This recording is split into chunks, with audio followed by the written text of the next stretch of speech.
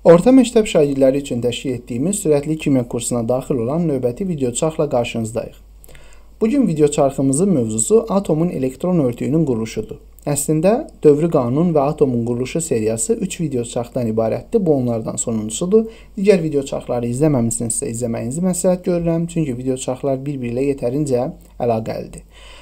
Başdan deyim, Vacib olan hər şey kimi bu da bir qədər qəlizdir, amma bacardıqca sadə metodlarla izah etməyə çalışmışıq. Videonun daxilində müxtəlif e, təsvirlər və animasiyalar yer almaqdadır. Atomların e, elektron örtüyünün quruluşunu nəzərdən keçirərkən bu videoda aşağıdakı alt başlıqlar istifadə etdik. Elektronların təbəqələr üzrə paylanması, kvant ədədləri, atomun tam elektron formulu, uçurum hadisəsi, bunu mis və xrom atomları üzərində izah etdik. Atomun normal və həyəcanlanmış halı. İlk öncə elektronların təbəqələr üzrə paylanmasından danışmaqla başlayaq. Təbəqə nədir? Keçən videoda qeyd etdim ki, atomun quruluşunu əyaniləşdirmək üçün gözünüzün önündə soğan bitkisini canlandıra bilərsiniz. Soğanın necə ki yeraltı hissəsi təbəqələrdən ibarətdir, yəni qatlardan ibarətdir. Atomda da bu şəkildə elektronlar qatlarda yerləşir. Lakin soğandan fərqli olaraq atomun elektron təbəqələri arasında boşluq var və elektron təbəqələri bir-birlərini itələyirlər. Burada bir kiçik atom modeli təsvir olunub. Burada n bərabərdir 1 birinci təbəqəyə işarə eləyir, n bərabərdir 2 ikinci təbəqəyə işarə eləyir, n bərabərdir 3 isə üçüncü təbəqəyə işarə eləyir. Fizika kursundan bilirsiniz ki, elektron bir təbəqədən digər təbəqəyə keçdiyi zaman əgər yuxarıdan aşağıya doğru gəlirsə, enerji ayırır və aşağıdan yuxarıya doğru gedirsə enerji udmalıdır. Təbəqələrin nömrələri kiçik yen hərfi ilə işarə olunur və 1-dən 7-yə qədər qiymətlər alır. Burada biz bir x elementi üçün təbəqələri və təbəqədə yerləşə biləcək elektronların maksimum sayını göstərmişik. Təbəqə nömrəsi n bərabərdir 1 olduqda, buradakı düstura əsasən təbəqədə maksimum 2 elektron yerləşə bilir. Çünki 1-in kvadratı 1 eləyir, 1-i də 2-yə vurduğunuz zaman 2 eləyir. Burada n bərabərdir 2 olanda 8 elektron var təbəqədə, n bərabərdir 3 olduğu zaman təbəqədə 18 elektron, n bərabərdir 4 olduğu zaman təbəqənin maksimum tutumu 32 elektron olur. Buna əsasən 5-ci, 6-cı və 7-ci təbəqələrin elektron tutumlarını da özünüz təyin edə bilərsiniz. Aşağıda yəni bir misal üzərində bunu nəzərdən keçirdik. Fosfor 15-31 elementi. Fosfor 15-31-in təbəqələri 3 təbəqədən ibarətdir atom. Əslində burada qeyd etməli olduğum bir şey var. Təbəqələr məhdud deyil. Təbəqəni müəyyənləşdirən elektrondur. Əgər təbəqəyə elektron düşürsə, həmin təbəqə yaranır. Yox, təbəqəyə elektron düşmürsə, o təbəqə yaranmır. Misal üçün, bu fosfor atomunda 4-cü təbəqə yoxdur. Əgər hansısa başqa bir atomda elektron çox olsa, orada biz 4-cü təbəqədən də danışa bilərik. Yuxarıdakı düstura əsasən birinci təbəqədə yerləşən elektron sayı 2, ikinci təbəqədə yerləşən elektron sayı 8, üçüncü təbəqədə isə 5 elektron yerləşdi. Niyə? Axı təbəqənin tutumu 18 idi. Çünki mənim cəmi 15 elektronum var və 15 elektronun ikisi birinci təbəqəyə, 8 ikinci təbəqəyə sərf olunanda yerdə 5 elektron qalır. Burada bir də vacib bir məqamı qeyd etmək istərdim. İkinci təbəqə 8 elektronla tamamlanır. Üçüncü təbəqəni isə əgər sizin üçüncü təbəqəyə düşə biləcək elektronlarınızın sayı 8-dən çoxdursa, bu zaman 2 elektronu ayırıb 4-cü təbəqəyə yerləşdirin, qalan elektronlarınızı Üçüncü təbəqə daxilində paylayın. Ta ki təbəqənin tutumu olan 18-ə çatana qədər. Sizin üçüncü təbəqəyə qalan elektronlarınızın sayı 18-ə çatırsa, qalan elektronları yenə də dördüncü təbəqəyə əlavə edin. Bu Kleçkovski qaydasının tələbidir. Bunun haqqında məşğələ qrupumuzda lövhə üzərində, misallar üzərində daha ətraflı izahat verməyə çalışacağıq. Bir də burada valent təbəqə və valent elektron anlayışları var. Atomun ən sonuncu, yəni outer shell dediyimiz ən ə, axırıncı, ən çöldə qalan təbəqəsinə valent təbəqə deyilir və orada yerləşən elektronlar isə valent elektronları adlanır. Valent elektronları çox vacibdir, çünki onlar elementin valentliyini, reaksiya girmə qabiliyyətini, yerləşdiyi qrupun nömrəsini müəyyən edirlər. Məsələn, fosforun hal-hazırda xarici elektron təbəqəsində 5 elektron yerləşir və ona görə də fosforun göstərə bildiyi maksimum valentlik 5-dir. Fosfor 5-ci qrupun ə, e, əsas yarım qrupunda yerləşmişdir. Danışaq kvant ədədlərindən. Kvant ədədləri yetərincə qəliz ola bilər, lakin kvant ədədləri bizə kömək olacaq ki, bu quruluşların məğzini dərk edək və Quruluşların içərisində biz kvant ədədlərini işlədirik, lakin hansı necə işlətdiyimizi bilmirik. Bunu anlamağımıza kömək olacaq. Kvant ədədlərinin 4 e, başlıq altında nəzərdən keçiririk. Baş kvant ədədi, orbital kvant ədədi, maqnit kvant ədədi və spin kvant ədədi. Əslində bunların heç biri bizə uzaq deyil. Elektron konfiqurasiyası yazarkən bunların hər birinə biz toxunuruq, lakin necə toxunduğumuzu bilmirik. Misal üçün, baxın burada qarşıda duran ədəd baş kvant ədədinin nömrəsini göstərir və biz onu həmişə yazırıq, lakin onun baş kvant ədədi nömrəsi olduğunu fərqində deyilik. Burada gördüyünüz P əslində orbital kvant ədədini təsvir eləyir. Hərflə göstərilə bilər, lakin onun da rəqəmlə qiymətləri var, nəzərdən keçirəcəyik. Və burada gördüyünüz xana maqnit kvant ədədi ilə təmsil olunur və niyə burada 1 xana yazırıq, niyə P-də 3 xana, niyə D-də 5 xana yazırıq, onlar da maqnit kvant ədədi müəyyənləşdirir. Və nəhayət, niyə oxların üzü fərqli istiqamətdə qoyulmalıdır, bunu da spin kvant ədədi müəyyən edir. Təbii ki, kvant ədədlərini öyrənmək kifayət deyil. Kvant ədədlərinə paralel aşağıdakı qayda və prinsipləri də bilmək sizə elektron konfiqurasiyasını səhvsiz yazmağa imkan verəcək. Minimum enerji prinsipi, Pauli prinsipi, Hund qaydası və Kleçkovski qaydası. Bunları aydınlaşdırmağa çalışaq. İlk öncə gəlin baş kvant ədədindən başlayaq. Baş kvant ədədi dediyimiz kimi təbəqələrin sayını göstərir və 1-dən 7-yə qədər rəqəmlərlə qiymət ala bilir və ya rəqəmlərə paralel hərflərlə də göstərilə bilir. Yəni böyük hərflərlə K, L, M, N deyə içərdən çölə doğru nömrələnə bilir təbəqələr. Yəni daha doğrusu hərflə göstərilə bilir. N-in aldığı qiymətlər hal-hazırda maksimum 7-dir. 7-dən o tərəfə, yəni 7-dən daha artıq təbəqəsi olan atom hələlik ki müəyyən olunmamışdır. Və davam edirik. Əslində digər bütün kvant ədədlərinin qiymətini n özü müəyyən edir. Yəni birbaşa və ya dolayı olaraq hamısı n ilə bağlıdır. Yəni orada mərhələli bağlar var. İndi onları nəzərdən keçirəcəyik. Ona görə də baş kvant ədədi yetərincə vacibdir. Ən sadəsi budur, amma digərlərini təşkil edən elə baş kvant ədədinin özüdür. Digər slaydımızda orbital kvant ədədini nəzərdən keçiririk. L hərfi ilə işarə edirik. L bərabərdir n çıx 1. Yəni baş kvant ədədinin qiymətindən 1 çıxaraq təyin edirik onu. O bizə nəyə lazımdır? Məsələn, sizə belə bir konfiqurasiya verilsə, 2D2 və soruşsa ki, həmin konfiqurasiya doğrudurmu, yoxsa yanlışdırmı? Bunu təyin etmək üçün sizə orbital kvant ədədini bilmək lazımdır. Gəlin aydınlaşdıraq. N-in aldığı qiymətlərə uyğun olaraq orbital kvant ədədi necə qiymətlər alır? N bərabərdir 1 olduqda 1-dən 1 çıxırsız L 0 alır. L-in 0 alması həmin N daxilində S orbitalı mövcud olduğunu göstərir. Bir də deyirəm cümləni, fikir verin n'in 1 olması elin 0 almasını e, belə deyək də səbəb olur. 0 almasına səbəb olur. L 0 aldığı zaman birinci təbəqə içərisində yalnız S yarım səviyyə yerləşə bilir. Və n bərabərdir 2 olduqda L bir qiymət alır. Bu P yarım səviyyədən xəbər verir. Yəni yuxarıdakına əlavə olaraq ikinci təbəqədə həm də P yarım səviyyə mövcuddur. N'in 3 və 4 qiymətlərinə uyğun olaraq L 2 və 3 qiymətləri alır. Bu da bu isə D və F orbitalların atoma əlavə olunduqlarından xəbər verir. İndi bunu bir də aydınlaşdıraq. 2D2 doğru bir konfiqurasiyadırmı? Baş kvant ədədinin qiyməti 2-dir. 2-ni tapıram. N bərabər 2 olanda L1 ala bilir. L1 almağı P orbital deməkdir. D orbital olması üçün L almalı idi 2. L2 almır. Ona görə də bu konfiqurasiya doğru değil. Mesela bu qədər sadə təyin olunur. Və burada S, P və D orbitalların fəza formaları göstərilmişdir. Əyanlı üçün tanış ola bilərsiniz. Maqnit kvant ədədi ML. Maqnit kvant ədədi 2L plus 1 ilə təyin olunur. Baş kvant ədədinə birbaşa bağlı deyil. Dolayısıyla oradan gələrək təyin olunur o da.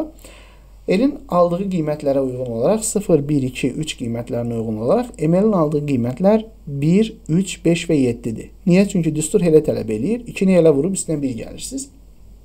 Bu nəyə lazımdır? Bu isə sizə hər bir yarım səviyyənin neçə orbitaldan ibarət olacağını deməyə imkan verir. Misal üçün, niyə S-də mütləq 1 xana çəkmək lazımdır, P-də 3 xana, D-də niyə 5 xana olmalıdır və F-də niyə 7 xana yazmaq mütləqdir? Bunları gördüyünüz kimi maqnit kvant ədədi təmin edir. Və burada da biz onları əyani olaraq göstərməyə çalışdıq. Baxın, atomun daxilindən xaricinə doğru əvvəlcə 1s var, sonra 1s-in üzərini 2s örtür, sonra 2s-dən sonra 2p-lər gəlir, onlar yerləşir orada. Sonra 3s gəlir. 3s, 1s və 2s-i çöldən əhatə eləyir gördüyünüz kimi. Daha sonra P-lər gəlir və daha sonra da D gəlir. Normalda biz atomu nəzərdən keçirəndə əslində bunların hamısını bir yerdə nəzərdən keçiririk. Yəni bunlar hamısı iç-içədir. Ona görə də ə, atomun elektron örtüyünün quruluşu yetərincə qəliz hesab oluna bilər. Nəhayət, dördüncü, ən sadə və ən vacib kvant ədədimiz spin kvant ədədidir. Spin kvant ədədi nədir? Gəlin elektrona baxaq. Müasir təsəvvürlərə görə elektron təkcə nüvə ətrafında dövr etmir, o həm də öz oxu ətrafında hərəkət eləyir. Öz oxu ətrafında hərəkət etdiyi üçün özdə məxsus bir maqnit momenti, yəni spin yaradır. Həmin spin müsbət və mənfi qiymətlər ala bilir. Onun müsbət qiymət alması müsbət 2-də 1 ilə, mənfi qiymət alması isə mənfi 2-də 1 ilə göstərilir. Burada müsbət mənfiyə e, riyazi yük kimi yanaşmayın, xahiş edirəm. Yəni belə deyək, biri müsbət olanda digəri təbii ki, mənfi olmalıdır. Bu cür yanaşın, məntiqi olaraq yanaşmağınızı istəyirəm. Və e, buna görə də biz eyni bir xana içərisində iki elektron yerləşdirəndə onların üzərini fərqli istiqamətdə qoyuruq. Yəni demək istəyirik ki, əgər iki elektron eyni orbitalı paylaşırlarsa, bu zaman biri saat əqrəbi istiqamətində fırlanmalıdır, digəri saat əqrəbinin əksinə fırlanmalıdır. Təbii ki, burada çox kobud bir izah verdiyimin fərqindəyəm. Çünki bu kvant fizikasıdır və fizik yoldaşlarım bu barədə daha dərin danışa bilərlər. Biz isə kimyada sadəcə buna toxunub keçirik və ona görə də çox detallarına varmırıq. Daha sonra gəldik bütün ümumi mənzərəni göz önünə gətirdik. Bu şəkil burada saxlayıb baxa bilərsiniz. Hər bir orbitalın formasına, quruluşuna bunu sizin üçün yerləşdirmişəm. Və Əsas vacib məsələ: prinsiplər və qaydalar. İki prinsipimiz, iki qaydamız var. Birinci prinsipin adı minimum enerji prinsipidir. Elektronlar daha aşağı energetik səviyyəni daha əvvəl tutur deyir. Bu nə deməkdir? Əgər birinci səviyyə boşdursa, ikinci səviyyədə elektron ola bilməz. Yəni ən aşağıdakı birinci tutulur. Sonra 2 tutulur, sonra 3, sonra 4 və s. Bu Kleskovski qaydasına bənzəyə bilər, amma yetərincə fərqlidirlər. İndi Kleskovski qaydasına da baxacağıq. Və Pauli prinsipi nə deyir? Atom daxilində bütün kvant ədədlərinin qiyməti eyni olan 2 elektron ola bilməz. Nə demək istədi? Dedi ki, ikinci təbəqəni götürüb nəzərdən keçirək. İkinci təbəqədə 2-si S-də, 6-sı P-də olmaqla 8 elektron yerləşə bilər. Problem yoxdur. İndi gəlin P yarım səviyyəsinə baxaq. P yarım səviyyəsində isə 3 fərqli orbital içərisində 6 elektron yerləşə bilər. Yenə problem deyil. Davam edirik. Eyni bir orbital içərisində 2 elektron yerləşə bilər. Bu da problem deyil. Lakin həmin elektronların birinin spini saat əqrəbi istiqamətindədirsə, digəri mütləq saat əqrəbinin əksinə olmalıdır. Yəni hər ikisi eyni spinə malik ola bilməz. Və bu nə deyir? Deyir ki, birinci kvant ədədinin qiyməti eyni ola bilər, yəni ikisi də 2 ola bilər. İkinci kvant ədədlərinin qiyməti eyni ola bilər, yəni ikisi də P-də yerləşə bilərlər. Üçüncü də eyni ola bilər, yəni ikisi də eyni xanada yerləşə bilərlər, lakin heç olmasa o dördüncü kvant ədədi, yəni spin kvant ədədi fərqlənməlidir. Yəni biri üzü yuxarı baxırsa, digəri üzü aşağı baxmalıdır, oru dildə desək. Davam edirik. Qaydalarımıza gələk. Vacib qaydalarımız Hund qaydası və Kleskovski qaydasıdır. Hund qaydasını ilk öncə nəzərdən keçiririk. Deyir ki, elektronlar eyni energetik yarım səviyyədə daha çox orbital tutmağa çalışırlar. Bu nə deməkdir? Təsəvvür edin ki, 3 elektron orbitallara yerləşməyə başlayır. Onların bir e, belə deyək də yarım səviyyədə yerləşməyə başlayırlar, belə deyək. Onlar ikisi burada, yəni birinci orbitalda, qalan biri isə burada yerləşə bilərdi. Lakin belə yerləşmirlər. Bunlar dağılırlar. Necə ki, e, orbitallar boşdur, onlar yarım səviyyə içərisində bol-bol yerləşməyə çalışırlar. Baxın, D-yə baxaq analoji vəziyyətə.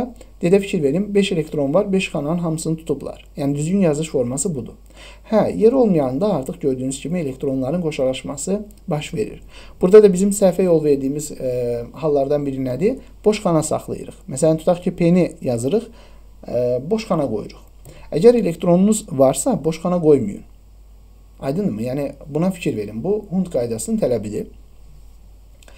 Kleskovski qaydası Kliçkovski qaydası deyir ki, energetik halları yaxın olan iki yarım səviyyədən baş və orbital kvant ədədlərinin cəmi kiçik olan yarım səviyyə daha əvvəldə olur. Nə demək istədi?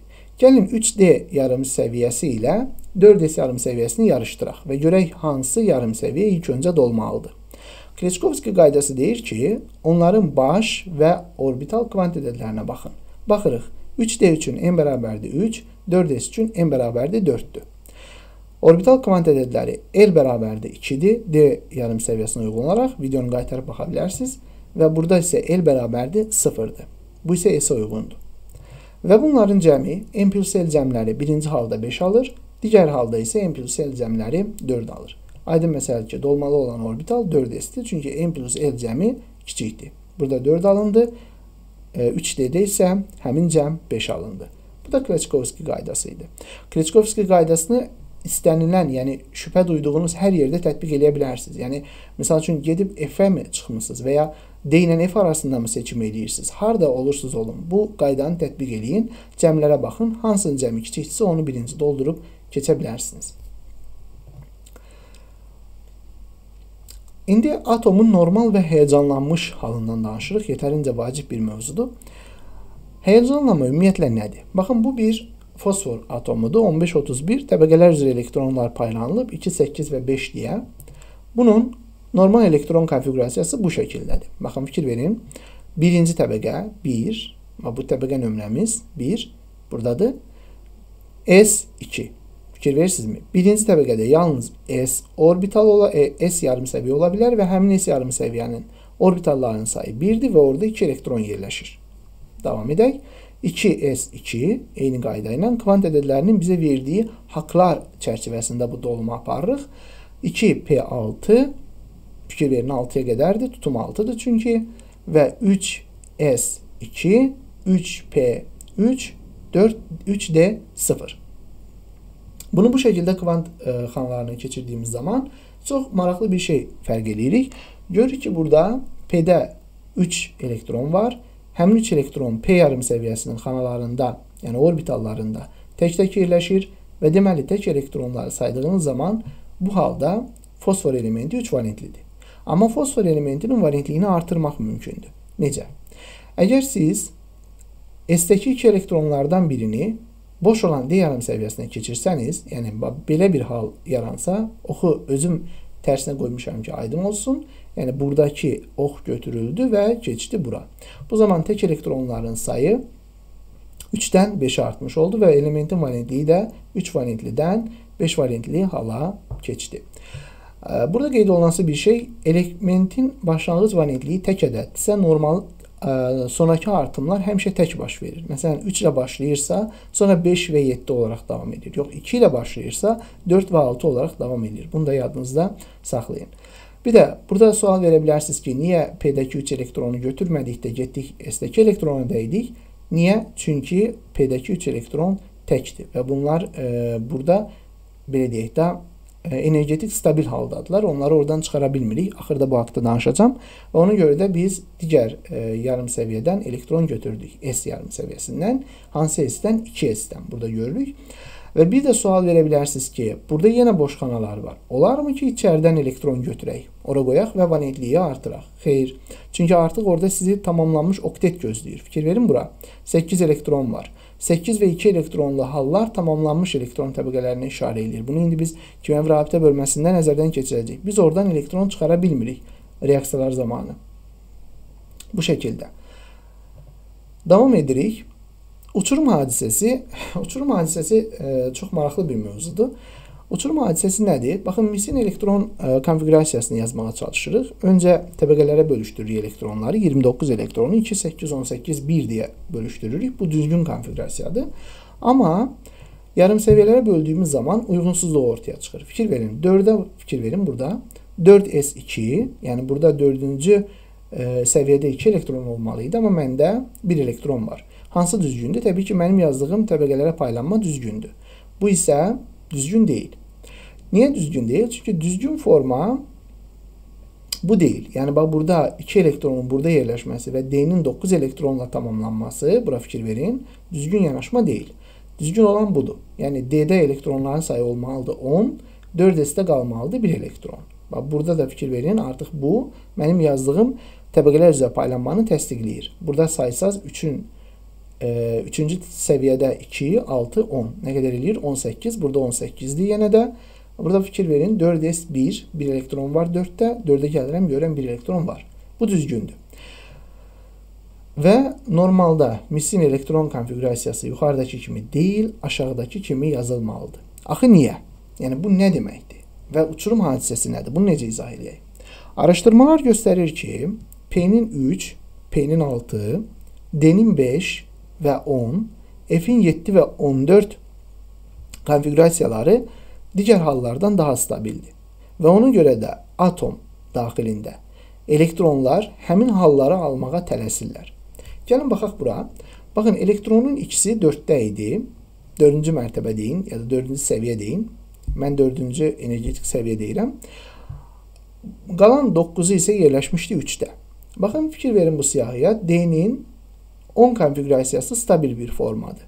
Ona görə də D 9 formasından 10 formasına keçməyə can atır. Elektron özünü dördüncü təbəqədən atır üçüncü təbəqəyə. Baxın, uçurum sözünün də mənası budur. Yəni təsəvvür edin ki, 4 ilə 3 arasında bir fərq var da. Yəni dördüncü energetik səviyyə hara, üçüncü energetik səviyyə hara.